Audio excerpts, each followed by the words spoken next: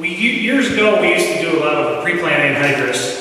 Um, kind of got away from that because you, time was the biggest thing. I mean, if it was dry enough to get across the ground, the ground was in good shape, you didn't want to wait three, or four days to put the anhydrous on because you didn't want to take a chance of uh, hurting your germination of your seed. So risk was kind of a big change for that. Um, we are side dressing anhydrous and side dressing 28%. Um, our high irrigated well, at planting time we'll put about 30 pounds of N with the starter and then we'll come back with, depending on the crop, how it looks, on our irrigated, we'll put in another 200 to 220 pounds of anhydrous.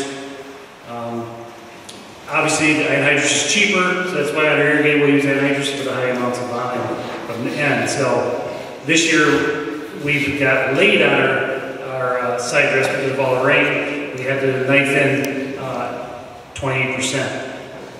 Most of the time, we're using anhydrous because the 28 is more money. But the cultivation with the knife going through, we saw a big benefit of that going through with the knife, especially on some of our heavier soils. Um, sometimes I think there's just as much benefit in that cultivation that is having the nitrogen on early at times. Not always, but sometimes. So the cultivation has paid, I felt, over the years. Some of the heavy clays that we get, you run the risk of opening up that slot and drying it down deep, but I guess we'll take that chance usually up a pound of N, we usually figure about a, our rule of thumb is bush, pound of N per bushel of corn. Um, depending on the crop condition, as far as if it looks really good, we may up that to 1.2, 1.3 because there's a lot more potential there. And then obviously if it's poor looking crop like some of the stuff I side dressed last week, I'm below that one pound per bushel.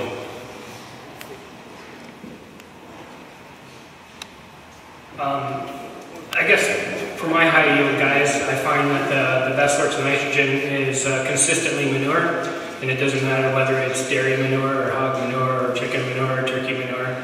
But uh, for guys to get a handle on the amount of manure that they're putting on and the rate and the, the nitrogen that is involved with that product, um, and then uh, doing some nitrate testing to, to follow up with some additional nitrogen. But uh, consistently, the guys that are getting the highest yields in, uh, in my area have all got manure in their, uh, in their um, fertilizer program.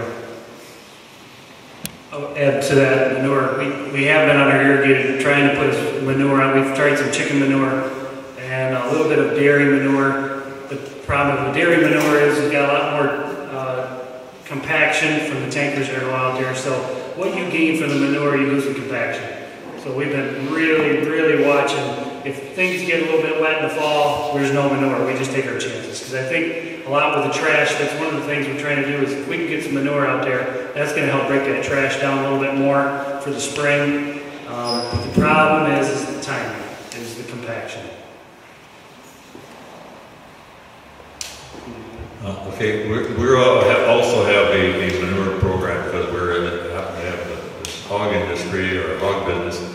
Uh, so uh, now our manure is, is never applied to the corn stalks in the fall just because we're usually uh, later in the season you, you, you get into wet weather and so we, we try to really minimize the amount that we depend on putting on in the fall. Uh, our, our, manure for the corn ground is applied in the spring. We have a drag hose system, and, and so that, that is, is applied in the spring. We also apply some inter-row about the end of June. Uh, so some of the some of the ages get applied that way. Um, our general N application is we we uh, our, planter is is equipped with both uh, liquid in furrow for a starter pop-up. We also still have the dry fertilizer hoppers on there. And we've got those openers set four inches to the side and four deep. So it's four by four instead of your traditional two by four. So between the, the, the 624 6 in slot and, and what we put through dry is about a 31 uh, no phos, about uh, I think it's an eight or a nine potash and about an eight sulfur. And, and so that gives us upwards to 40 pound in that application. then we, when we put our pre-emergent herbicide on, we use UAN as a carrier. And so we put about between 50 and 60 pounds on at that time. Um, in, in the past then, with that application, plus if it had manure, that's adequate in. Uh, and anything that didn't get manure, then we gotta go in and, and side dress some way, shape or form. Uh, as, as our yields have gone up, we've had to look at increasing our N rates in the, in the side dressing, uh, process. And, and actually this year, we just modified our sprayer slightly and, and we're actually dropping UAN between every second roll. We're not knifing it in, we're just, uh, fastening on a chunk of, uh, sump pump hose at the nozzle body and, and hang about a foot and a half, two feet of sump pump hose, and, and that, so that's between every second row. Uh, It's looking excellent this year, uh, long term, I don't know. Okay. You know, timing is everything, and, you know, you asked about timing, and that if you read all the research, you always say spoon feed your nitrogen, get it at adequate timing, and, and at its key points of maturation, having some available for early growth, and then again, your pre-side dress for its, um, when it hits that fast vegetative growth stage. And then the, the kicker always comes in that timing when you have pre-tassel to pollination, where again, you have another say the slug of nitrogen that the plant needs. And, you know, that's the timing that's really difficult to hit. And there are some folks that are doing some irrigation and putting some through their irrigation to hit that timing if they're seeing a problem. Um, but again, it's the cost and the feasibility of it is difficult to measure. I'll go back to every farm is different. Soil textures are different. The availability of what you have for nitrogen sources, whether it's poultry litter, dairy litter, or dairy manure, um, hog manure, um, those options will fit in every situation where, where you have it available.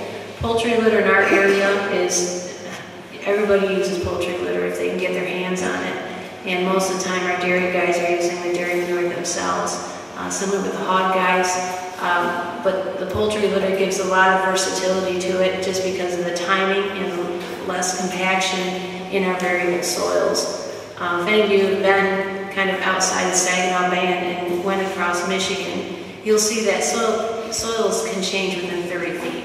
So you can go from what Jay would call a blow sand um, down to a heavier clay soil and even into muck ground in the same field. And so you really got to watch some of the other application or the sources that you have to make sure that you're getting the most bang for your buck depending on what sources you have